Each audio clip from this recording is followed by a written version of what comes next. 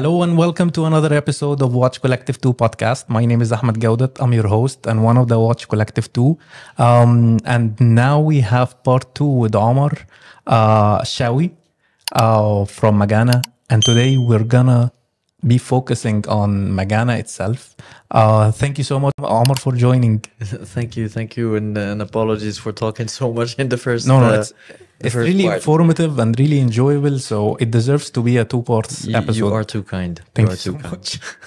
Thank you. And and last last time and last episode we ended with um the story of you uh almost being robbed uh with the Daytona in Paris. That was the initial flame, let's say, that started the whole thing. Am I right? So, so it it was uh, it was the initial flame. Yes, yes. and talking about first of all, I really want to ask this question. But what does Magana means? Ah, so as you know, I am Moroccan. How do you say watch in in Egyptian? Sa'a. Sa'a. That's what they say in Lebanon. In most Yeah, yeah, of Arab in Arabic. uh, in Tunisia, they say Murgana. Okay. And in Morocco, we say Magana. Is it that simple? So it's it's it's it's a watch in Moroccan dialect. That's it. Arabic Moroccan dialect. Absolutely. It's very simple. And um, I'm not gonna ask you how did the brand started, but I would like to know more about the values and the concept behind the brand. So what I was saying is that when when that incident happened uh, in in France, I realized that as an entrepreneur, uh, I needed to create something that could outlive me, something that could carry um, carry on without me uh, for my children. Uh, and I'm not talking just materialistically and financially. I'm I'm talking about values. If I were to, and I will someday, uh, leave this world, I want my children to look up at whatever it is that I have done and say, "Oh, my dad did do this." Yes. you know. Uh, and so it was very important for me, above and beyond the product uh, itself. Um, I, my dream is for Magana to be perceived as a brand more than a watch. The watch is the product. The the product is not the brand. I don't know if I make sense. Yeah, yeah. yeah. I Uh, mean, when for we, me, it makes sense. when we when we spoke uh, the first time we met, I told you about this wonderful book by Simon Sinek Yes. called "Start with Why," uh, that I read uh, during the COVID days, actually, and it really struck me when he defines the when he says Apple when they bro- when they drop a new iPhone, people will queue overnight, will will camp outside of the Apple store to be the first to buy it. Samsung, not so much yeah. equally good product. They do what they're supposed to do, and some would argue that Samsung products are even better, perhaps. Uh, but the point is that Apple was able to connect on an emotional level as a brand with their consumers, and Samsung couldn't, not as much. Yeah. And when you ask why, Apple, their raison d'etre, why they exist, is challenge the status quo. That's how they say it. How do you do that? Our products, uh, you know, they're beautifully designed. They're this, that, and we challenge the status quo. Um, Samsung is you need a phone. We make really great phones, and we have a camera on them, and then and then. So it's two different approaches. And inspired by this, I was like, okay, why do I make a watch brand? What's the point? Does the world need another watch brand? Not really, especially by a Moroccan guy who's not a watchmaker. You know, who's not in Yeah, but at least you come from the watch industry. I know people. Yeah, that- that's the one thing I got going for me. it's one point for you. you know? Um, and so, what is my why? Now, as I said earlier, I've been in Dubai and the UAE for um, now 25 years. MashaAllah. Uh, and this is my home as much as Morocco in the sense that I have lived here actually a little longer than I have Wow. lived back home. Uh, and this place works. Why does it work? Uh, because we, the majority of people that you meet in Dubai or in the UAE come from somewhere else. And every time you meet somebody, you will ask or get asked the same three questions Where are you from? How long have you been here? And what do you do?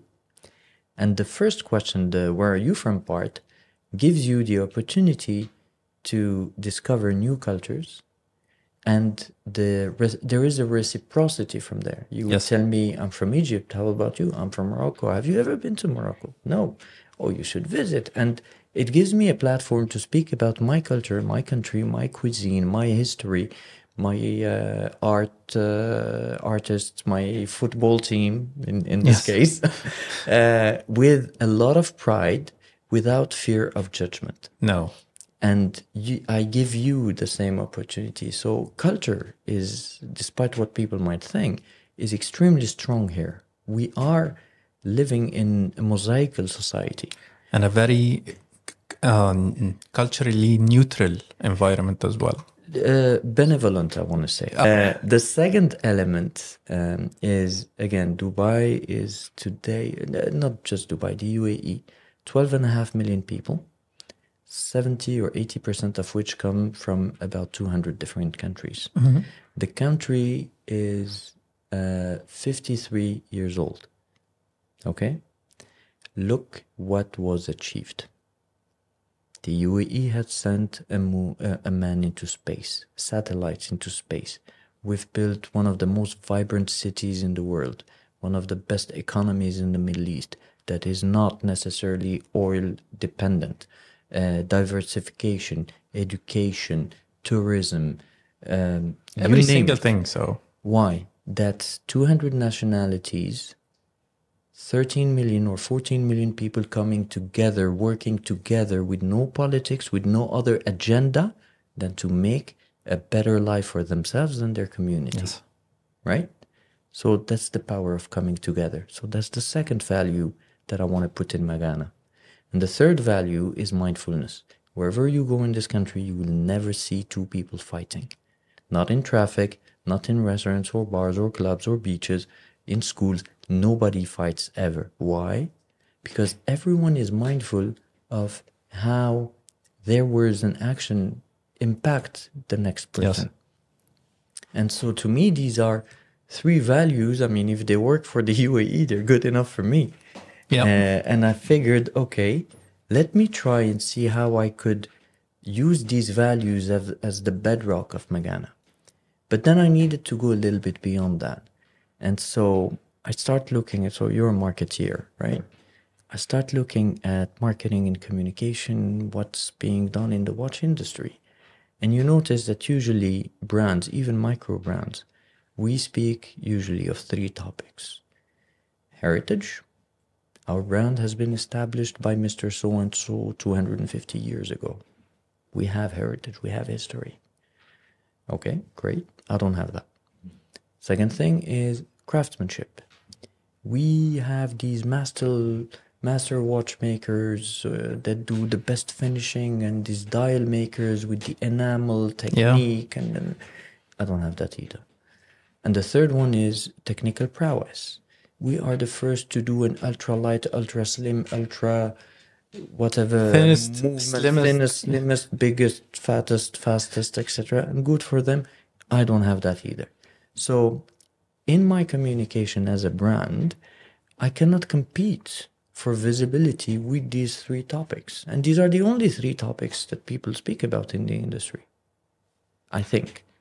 Since I don't have any of them, uh, and I don't have a lot of means to promote Magana, why should I try and compete in in in, in w- within a realm that I'm I'm not at at best I'm as good as the next guy at best for the moment.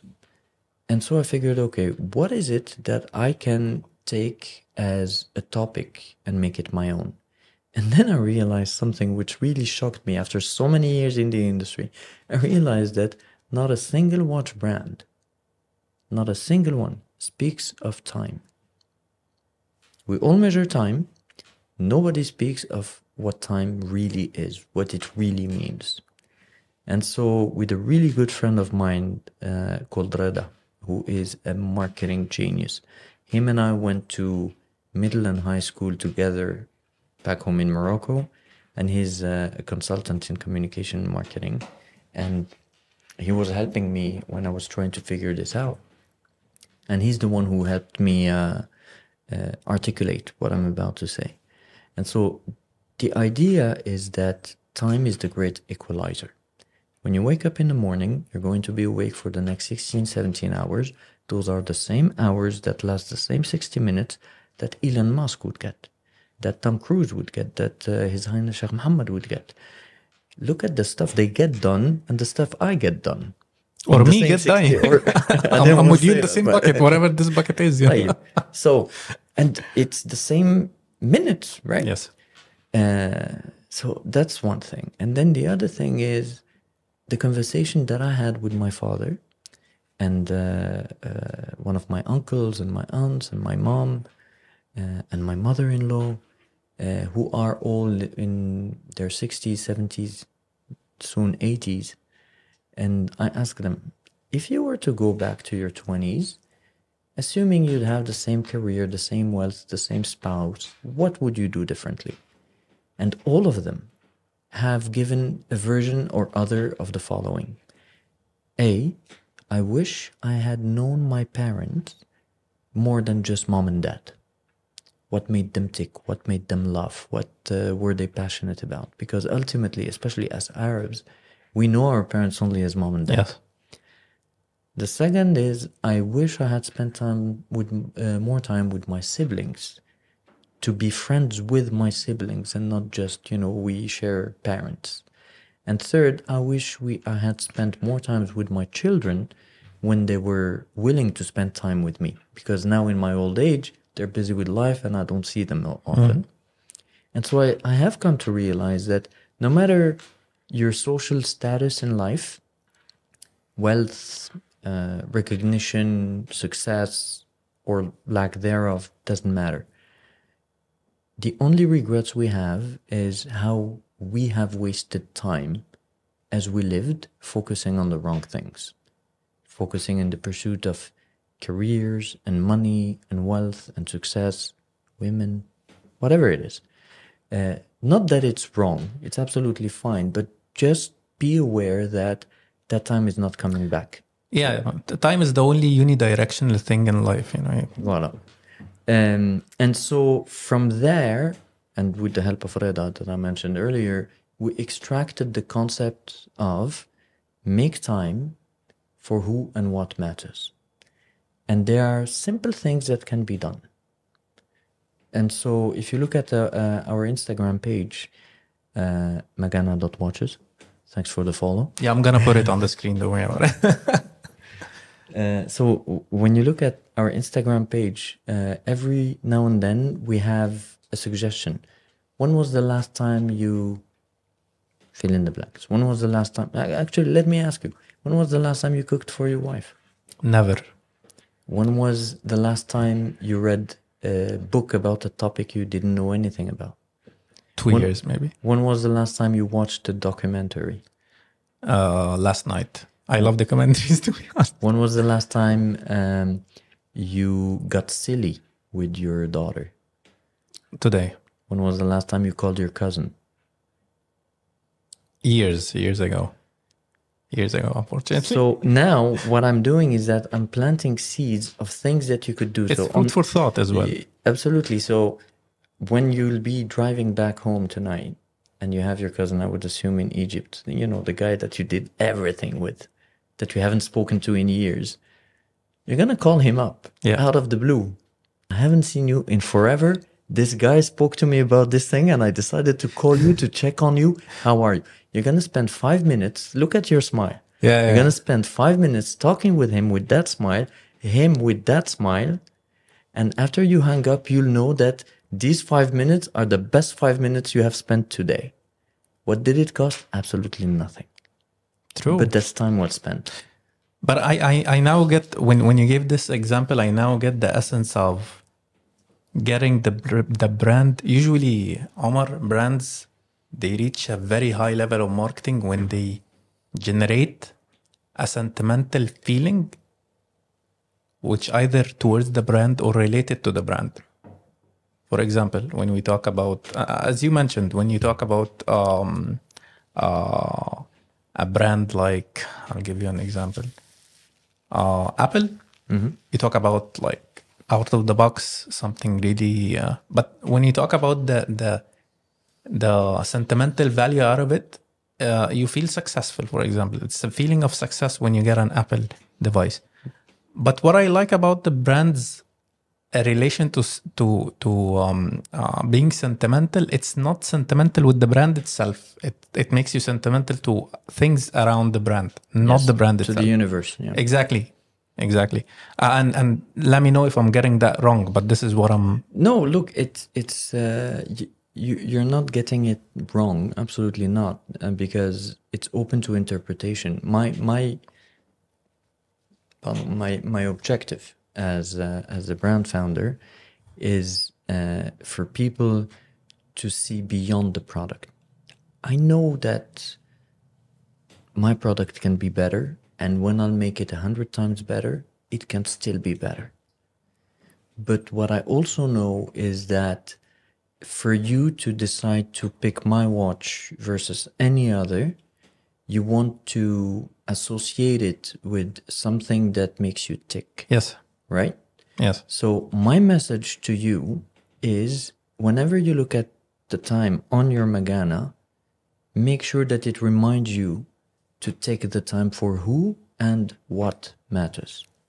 I totally agree. That, I totally that agree. really is the point. Um, and maybe in the favor of time, I think um, maybe we can go through the the first model, Yeah. right?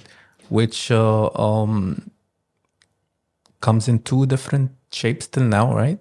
No, no. So, uh, back in my days in the corporate world, I was observing Mr. Georges Kern, who Okay. at some point was also my CEO at Roger Dubuis, and uh, he he was the man who was instrumental in the uh, in the success of IWC. And one of the things that he did that was very smart is that uh, at the time there were six or seven IWC watch collections. And every year at uh, SIHH, before Watches and Wonders, uh, only one collection would be renovated and everything else would remain the same, which gives a longevity for the collection. You know, if, um, I don't know, if this year we are renovating the Portugueser, whatever novelty we're putting today, they're going to be in stores and promoted for the next six years Yeah. because every year we'll do something else. And I found that it was very smart and very honest vis-a-vis the consumers who don't need to keep running after the next Yes. uh, model, right? Uh, now, I, I don't have that time, I don't have the same budget, but I do like the philosophy. So the idea was okay, I have three values um, culture, togetherness, mindfulness. I'll start with the first value, culture. Let me build a collection around that. So it's three times the same watch with uh, the same complication, the same shape. It's just three different executions. And so, uh, how do I explain culture, uh, or how do I translate culture into into the watch? So, um, the first thing is what topic. The culture is very very vast, right? You could do art, you could do whatever it is. And as I said earlier, I'm a I'm a history buff, uh, and I'm a very proud Moroccan. So I was like, okay, how about this? There are some places in the world where if you close your eyes and you're there, you will smell, you will hear, you open your eyes, you will see, you can touch, you can even taste the same stuff that your ancestors would have experienced a thousand years ago. Because uh, uh, you're you're from Cairo originally? Alexandria, actually. Alexandria. Okay, so Alexandria, uh, you had the uh, bibliothèque, the Uh, Library and- of Alexandria. Yeah, and you have the, the the lighthouse, and you have so there are cer- certain things that it's like they're frozen in time, and you would taste the same type of food and see the same color and hear the same sounds from the the um, uh, the birds and uh, and so I, w- I was like, okay, th- this is something. So how about this? In Fa- in Morocco, there's a city called Fas, which was founded in, in the 8th century. And about one or two hundred years after it were founded, a Tunisian lady called Fatma al-Fihri moved there. She was a widow uh, and she was very wealthy. She financed the building of a mosque and she wanted for that mosque to be also a school where sciences would be taught mathematics, medicine, as well as religious sciences. That mosque slash school slash university is called Al Qarawiyin. Now, very few people know this, but Al Qarawiyin has been, since it's been established around the 8th or the 9th century, to this very day, every year there are graduates coming out of it. Hmm. It is the longest, oldest running university in the world, founded by a woman, by an Arab woman in an Arab and Muslim country. Mm-hmm. And as a Fassi, my family Yes. is originally from Fas. I'm super proud of that. And I realize that when I say Morocco to people, they know of Casablanca, thank you, Humphrey Bogart. They know of Tangiers, thank you to the spies, and they know Marrakesh, thanks to the parties. But a lot, a, a few people have gone through the trouble to go to Fas and visit Fas. No. Like, all right, let me pay tribute to Fas. Now, Fas, as an old city, uh, has its older uh, part is surrounded by a wall that used to protect it from invaders. And to go inside the city, you need to go through a gate, which you find here or Here, here. here. Uh, one of the gates is called Bab Boujloud. Uh, Which means?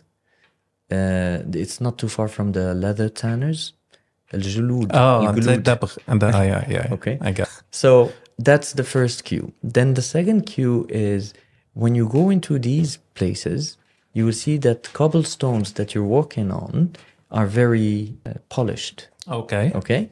So that's the finishing that we have around the case uh, inside with the indexes. Yes. Uh, but the walls of the houses and the outer wall of the city is all grained and rugged. So we've done the rugged finishing uh, in the center. Dial. center and center dial, yes. And then, uh, in terms of complication, uh, one thing that uh, I had realized back to my Paris incident was that I asked myself if it were possible to make a qualitative watch of really great quality, great finishing at an affordable price. A watch that I would want to buy. Now, I do own a few chronographs because they really look good, but I never use the function. And so I asked myself, why don't we find enough watches that look like chronographs, that feel like chronographs, but that give me useful information? And, and this is why you went with a triple calendar. and that's why I went with the annual calendar. So I have uh, I have the day, I have the date, and I have the month, and and I've put I've added a pusher here at uh, at two o'clock to give it more of the chronograph Feel, feel. yes, yes. Uh, and then I pushed the envelope a little further, and I asked my uh, the people, my suppliers, to see if we could emulate some of the uh, straps that you can see at Richard Mille, which are very comfortable to wear. They It look is. great, and we were able to come up with this strap. But for those who want, we also deliver uh, a leather strap to make it look a little bit more formal.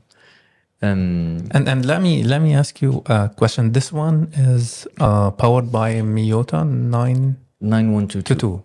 right? Uh, Are you making luxury watches although it's powered by uh, Japanese Miyota movement? Uh, I know it's a little bit tricky question. No, it's not. No, it's not. The answer is yes. Uh, and I'll tell you why.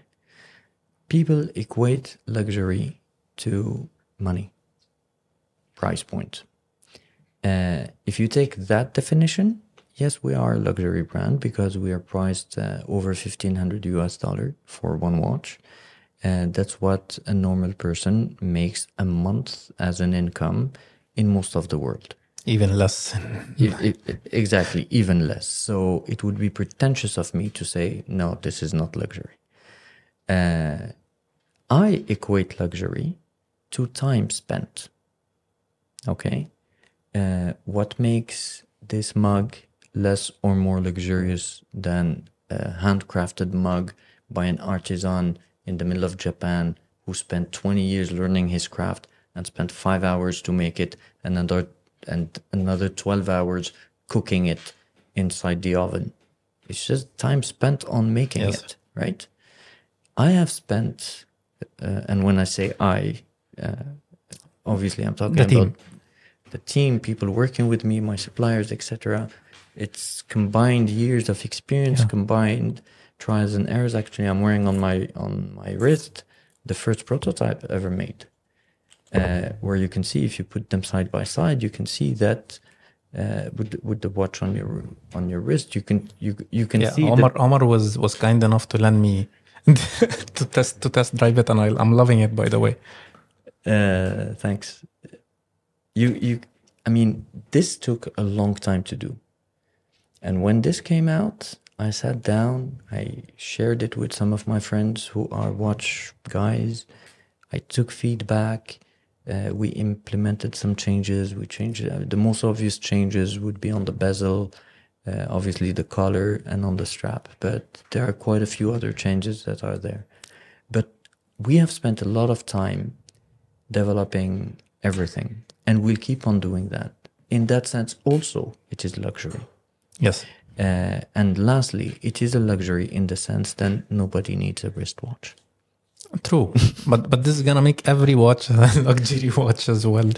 Uh, other than Casio's. point, yeah. Yeah. Um, so yeah, I'm I'm sorry to deviate from from the whole all. walk through the the the models. Uh, so this is related to uh tribute to Fas, right? So tribute to Fas. So what's Fassi about the watch is the little blue touch on the second hand. Uh, And the texture as well of all the, watch. so that you will find also on the other watches. Uh, the elements about the wall surrounding the old city, the gates, uh, the finishing, all of that is true because th- this collection is named, for lack of better words, cities. So the first one, tribute to Fas, what you have on your wrist, what we have here is tribute to Istanbul. And the last one that I'm launching very soon is tribute to Kyoto. Okay. Uh, now, Fas, this blue, this shade of blue, is what you will find inside the houses, traditional houses of Fas. Inside the walls have uh, mosaic, uh, ceramic mosaic that's usually white and blue. Yes. So that's where it comes from. Then Istanbul, wherever you go to Istanbul, you're going to see the Turkish flag everywhere. It's white and, and red. That's what we have on this watch. And Istanbul is also one of those places you go to the Sultanahmet area. Uh, you are back in Ottoman times. Yeah, yeah. And I mean this color is very representative to So Turkey. shout out to our, our friend Mubarak who who who made this strap for me. So this is a custom strap.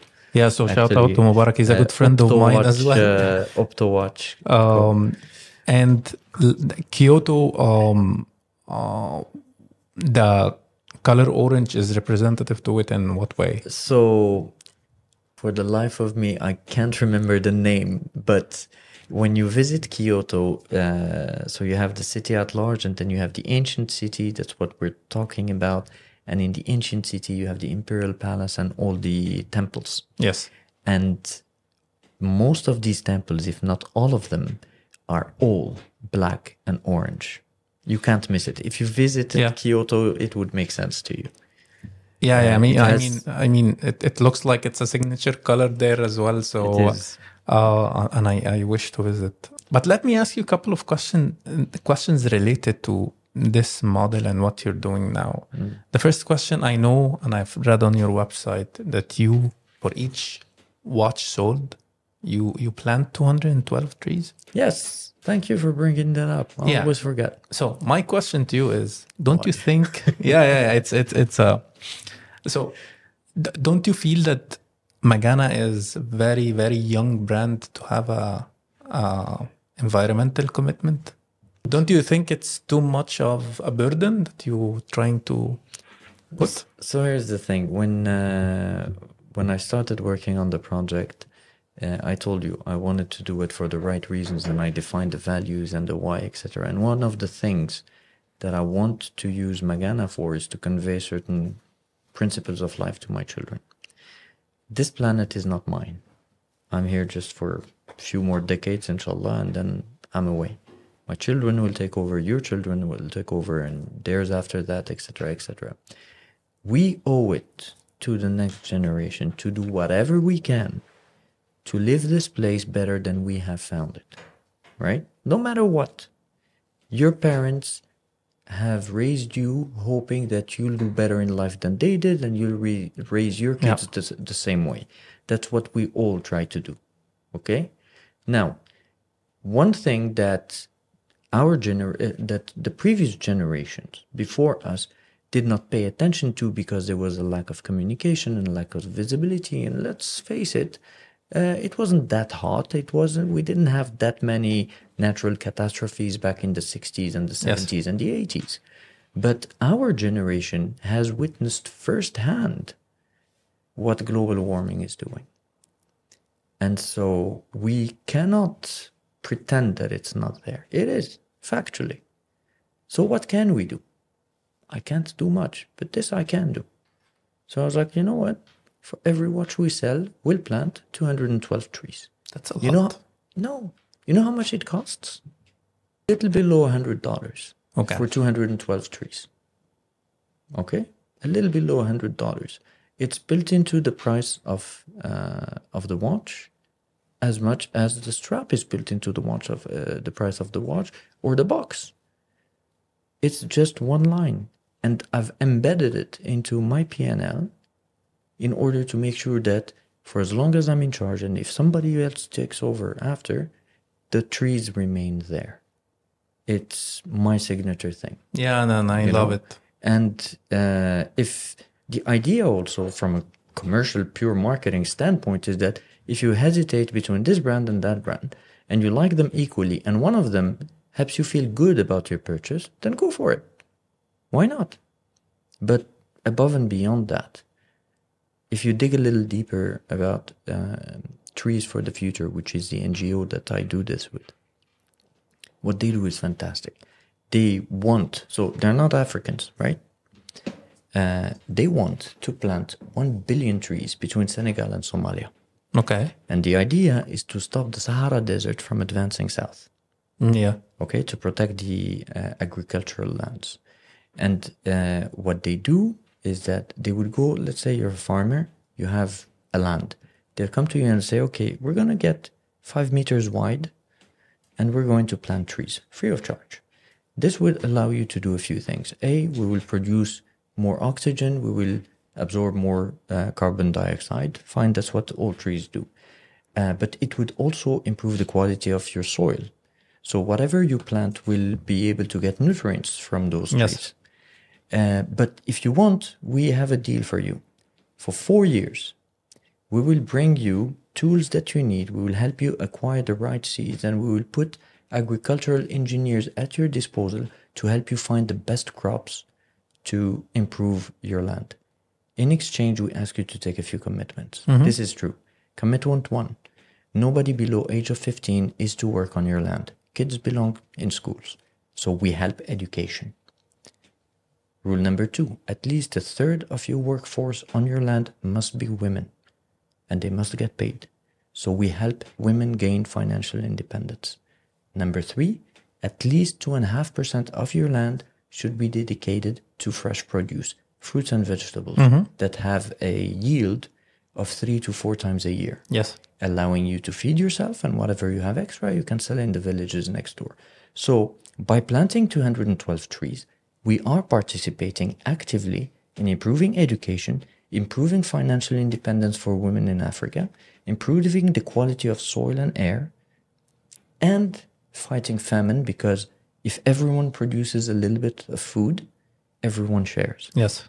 and that is the value of togetherness that I was speaking about earlier. So, Yeah, yeah. as I'm telling you this, I'm getting a little emotional. I'm r- really grateful you you brought this to. Um, Yeah, yeah, and, and forgot about it. and and no, no, it's it's a, it's um it's a big thing for me as well because uh, Well, we, we're both African. Yeah, yeah, of course. Um, but but the thing is, you don't usually see. First of all, either you are playing, you are a brand and you are playing the game of sustainable product from the whole beginning to till the end, which is not the case here. I can't afford to be sustainable. Yeah, yeah, I know. But when I opened the website and I read it, You, you, as a matter of fact, you didn't tell me when we met previously. I forgot. Yeah, I yeah. keep forgetting. And, I- and I read it on the website and I was like, why the hell would he do this? I need to understand, you know, and, and it's clear for me. And thank you so much for explaining No, this thank you for thoroughly. And, I- and I really like it. I, I really like the concept. Um, and maybe it's very impactful because the company is so young as well. So you don't have any of the other deeds. It's not a marketing direction. No, it is. It it also is. I'm not gonna lie. It also is. It gives me an edge. Of course. I, I need to fight with whatever uh, tools I can find, whatever tools I can afford. Now, the one thing that I'm super proud of is that as we speak, we have already planted over 22,000 trees. Wow. Wow. That's, You know, uh, That's in, in in 12 months. Uh, and the more we grow, the more we'll do. And uh, you know, even even if the brand was to stop existing tomorrow, 22,000 trees are there. Yes. Yes, which which is which is great. That's amazing. I, I it's, something to make you happy, right? Absolutely, it makes, it makes me smile. yes. Um, but but I mean that's that's extremely um, lovely, and and I think it's a very strong messaging.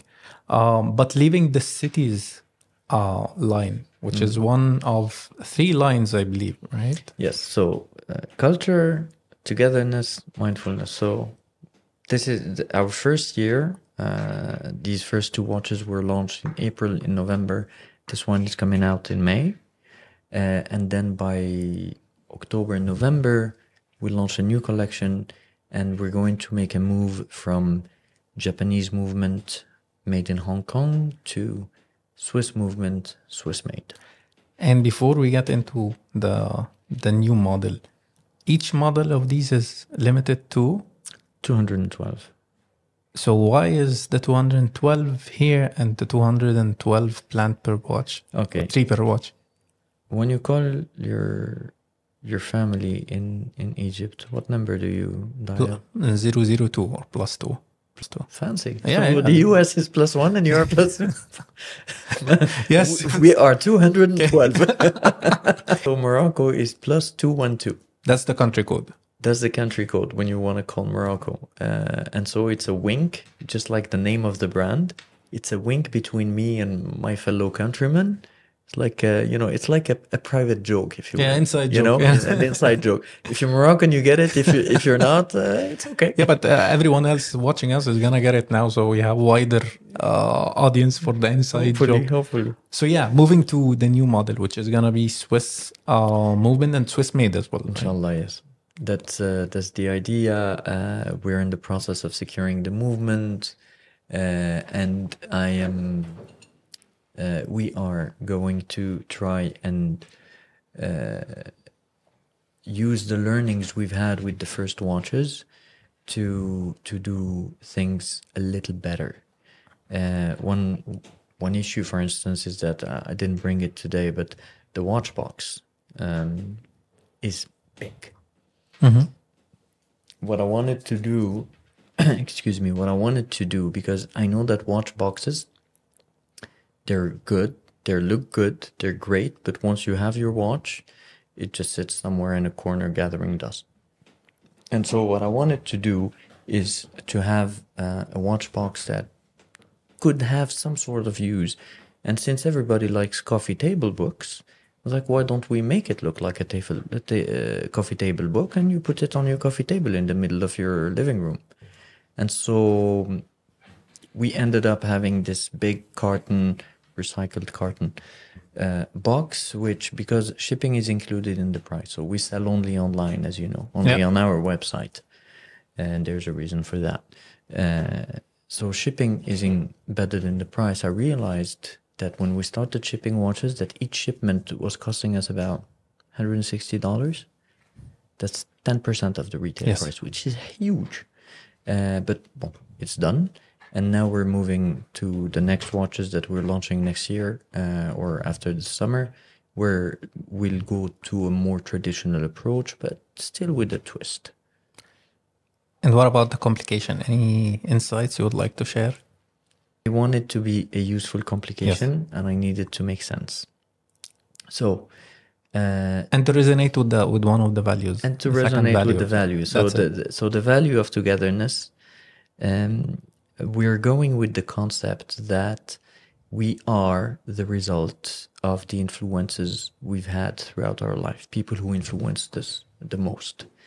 And there are three constants in everybody's life, most people at least.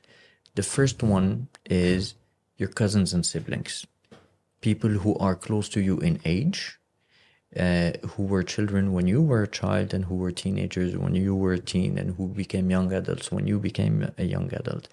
Those are the ones you had fun with. Those are the ones you fought with. Those are the ones that tested your limits and you tested theirs. And um, I want to pay tribute to those.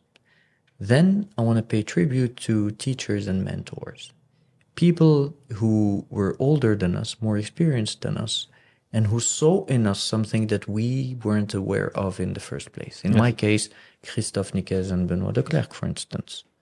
Uh, they saw something in me in my career. Uh, they saw that I had potential, and hopefully I didn't let them down. And uh, they gave me a chance, and I will forever be grateful to them. Um, and then, of course, mom and dad.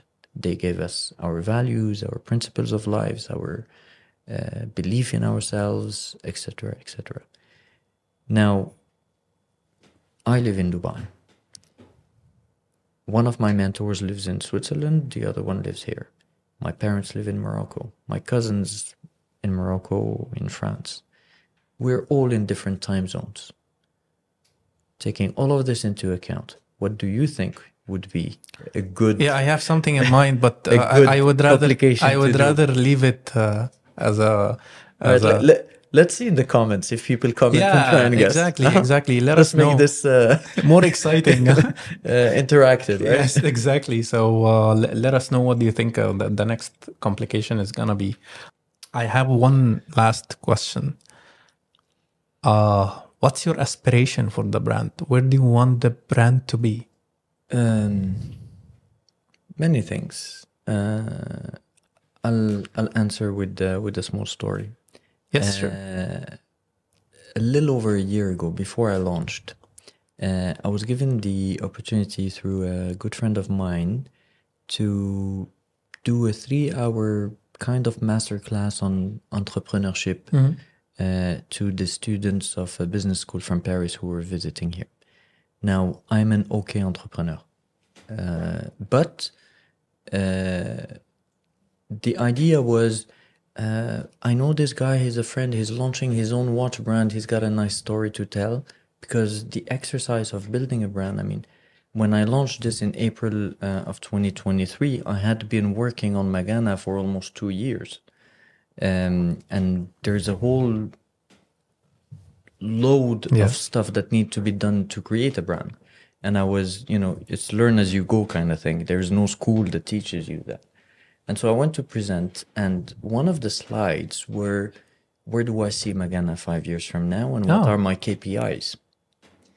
And my KPIs were not in dollar value, they were not in number of watches sale, sold, and they were not in number of customers acquired. My KPI was by the year uh, 2028, I want Magana to be responsible for the planting of a quarter million trees. So that's my KPI. First five Which years, is gonna be translated into sales as well. I mean, of course, so- but but uh, but but you didn't put the dollar value. that You put you put the the the because to plant the trees, I know how much I need to spend. yes. right? I can sell, so these watches sell today for sixteen hundred US dollars. The next one would probably be more because Swiss made and different complication and Swiss movements, etc. Maybe I'll go up to twenty thousand dollars, or maybe I'll stick to a five hundred dollar price point. I don't know. Depends. I don't know. I need to see how the market reacts, etc. But the one constant, I want to have 250,000 uh, trees planted by Magana before the end of 2028. Hopefully, hopefully, hopefully, Inshallah. hopefully, me and you we celebrate here the quarter Inshallah. million trees. Inshallah, in not much, huh? Four years Four now. years, huh? Uh, you have a lot to do, my friend. And I, I'm not even at 10% of that. I'm not, uh, no, I'm no, at but you never know. 22,000. But you never know. Um, I mean, since since the the episode came to an end, um, I would I would really like to thank you, uh, Omar, for joining. It has been very informative and enjoyable, and um, really, I, I I do wanna this to end. Um, so again, thank you for for Let's go to dinner and we keep talking. yeah, yeah, we- we're gonna keep talking as well. Yeah, definitely. Um, so yeah, thank you so much for accepting the invite. Thank and Ahmed. and next time I'm gonna be inviting you as a collector since you're Sure. a since you are a heavy um, and and very unique collector. Uh, so yeah, there- Unique, there- sure, but heavy. No, no, no. You, heavy is not in the value, by the way. It's uh, Okay, then. it's in the depth so this is one of the things that i learned um so yeah uh until next time i think uh yeah and for those who are watching us uh thank you so much for joining us this episode is gonna be available uh on youtube and all other uh, podcast platforms until next time and until another watch enthusiast and see you next time thank you so much Thank you.